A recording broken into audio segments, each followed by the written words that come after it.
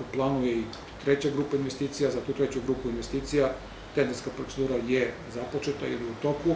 Po nalogu gradske uprave u njihovo ime i za njihov račun tendersku proceduru za ovu grupu investicija sprovodimo mi kao javno preduzeće. E, u toj dakle, grupi investicija predviđeni su radovi u ulici Živoja Nikolića Brke, Promajska ulica, selo Poljska Žana, to su tri investicije gde je vodovod već e, zamenio ili će menjati vodovnu mrežu u narednim mesecima, tako da vidite da otprilike je puno toga iskoordinirano sa, sa radovima javnog preduzeća Vodovod.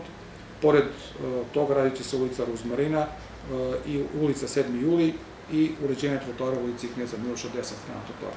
Otprilike, dakle, ove investicije sa redovnim održavanjem e, puteva i ulica u gradu i selima koje je aktualno, dakle, od negde aprila meseca pa praktično tokom cele radinske sezone i sa programom održavanja nekategorisanih puteva, gde je dakle, izdvojeno 5 miliona dinara i dakle, za, za, za taj program je takođe terenska procedura u toku. Ja očekujem da po završetku, dakle, negde u sredinom augusta i septembra se ti radovi izvode, a kroz taj program nekategorisnih puteva biće uređeni putni pravci u selima, to su dakle atarski putevi, biće praktično i posipanje šljunkom i istirovanim asfaltom, dakle ne asfalt, nego uređenje dakle, na, na ovaj način. Radi se u selu Topli Do, selu Milan, putni pravac deo putnog pravca Presjan Kamenica Rerdel, takođe u selu Blato, selo Držanje Velika Lukanja.